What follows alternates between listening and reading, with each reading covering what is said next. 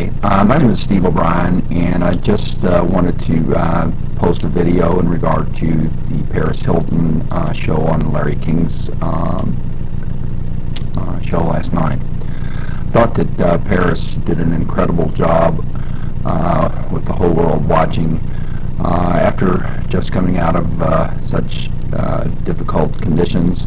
I thought she stuck to her guns and answered questions as honestly as her integrity uh, uh, would allow her.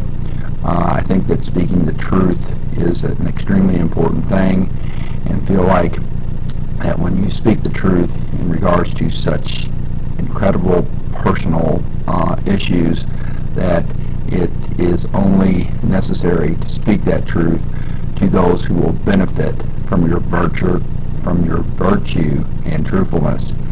I thought that Mr. King's questions uh, were difficult, and maybe he's uh, pressured to, to ask such difficult questions. But the most important thing was is that Paris uh, uh communicated that she had learned from the experience and wanted to do something to help in the vicious circle of people going in and out of such incarceration.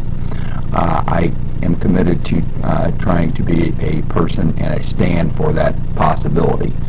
Thank you very much for allowing me to do this. Good luck, Paris. Uh, have a wonderful life. Uh, .com, that's my website. Thanks.